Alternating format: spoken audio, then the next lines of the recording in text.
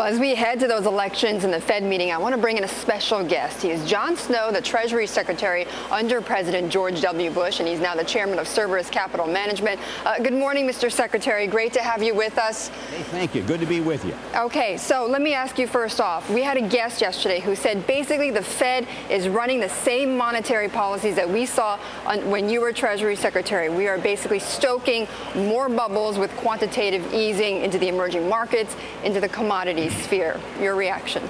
Well, uh, we have to go back to the mandate that the Fed operates under, which is uh, promote full employment, promote growth uh, close to the potential of the American economy, uh, while maintaining uh, reasonable price stability. The price targets are inflation of roughly 2%. Inflation's below that.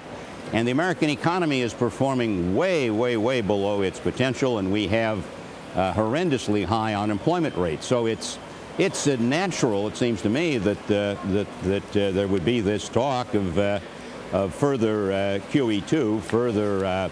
Further, I want to make sure I have you clear. It's natural, you're saying. Sure, it's understandable. It's their mandate. The Fed has a mandate to promote full employment, and employment is what? At nine point, unemployment is 9.6. Right, almost 10 percent. The, uh, the, the American economy is is performing way below its uh, potential, and the Fed looks at that, the gap, the so-called gap uh, between current output and potential output. That's a huge gap. Right. Uh, and that means we're just not getting a lot of output in the economy, and we're not getting a lot of prosperity that we we, we should be having. So and, and, it's natural, it's understandable the Fed would be looking at this. Okay, it's natural. However, uh, what do you think is the cause of that, Mr. Secretary? Because the companies seem to be doing what they need to be doing. They're trying to grow their top line. They say it's Washington that's screwing things up for them.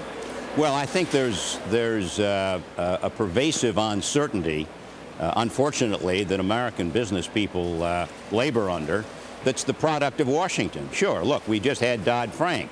It's going to take years to implement Dodd-Frank, and, and bankers and people in the financial sector are asking themselves, what are the rules of the road here for us? Mm -hmm. uh, that's got to be affect uh, affect this uh, uh lending practices. Right. Uh, we've got the health care bill. Uh, not clear how it's going to be implemented, but pretty clear that it's going to apply to a lot more companies. And they're looking uh, they're, they're looking at it and saying, uh, what do we do? Right. so uh, and yeah. not not hiring. And then you go to EPA and environmental policy affecting the energy industry and uh, power industry and so on, and you have the same pervasive uncertainty about rules. Right. So, and, and I hear you say that keyword, which we've heard over and over again, Mr. Secretary, which is uncertainty. Uh, let me read for you um, an op-ed this morning in the New York Times by Paul Krugman, okay? Because people are saying, are the Republicans, are Republicans going to sweep the sweep Congress?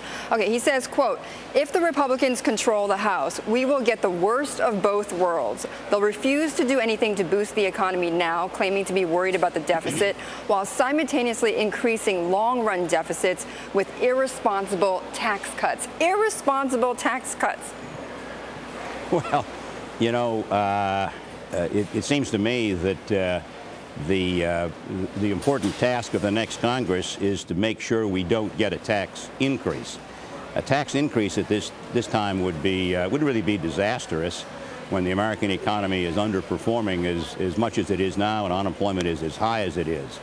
Uh, they're, uh, if the elections go as they're, uh, they're seen to go by the pollsters, you're going to have a lot of new faces, a lot of very competent, experienced legislators in key jobs. Dave Camp at, uh, at House Ways and Means, and uh, Paul Ryan at, at Budget, and Eric Cantor is majority leader, and John Boehner. these are these are experienced legislators. But how? Uh, Paul Ryan has a blueprint for America. Right, uh, and and, and if would that, reduce the deficit. And if that happens, Mr. Secretary, then uh, then you're confident that this tax issue will be resolved, and we won't get the tax hike that you're saying is quote disastrous, right?